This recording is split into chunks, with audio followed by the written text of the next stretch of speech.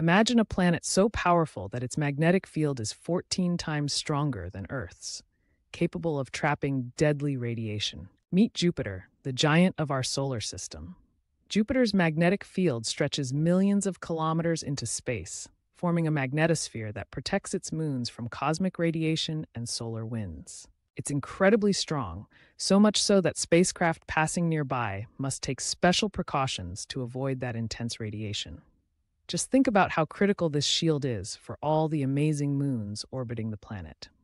This magnetic powerhouse also creates spectacular auroras at Jupiter's poles, far more intense than Earth's northern lights. Charged particles whirl around and slam into the atmosphere, lighting up the planet in breathtaking yet dangerous colors. Isn't it fascinating how beauty can coexist with danger in the cosmos? Deep inside Jupiter, metallic hydrogen spins to generate this amazing magnetic field. Studying it opens doors for scientists trying to understand how magnetic fields work and how they protect planets.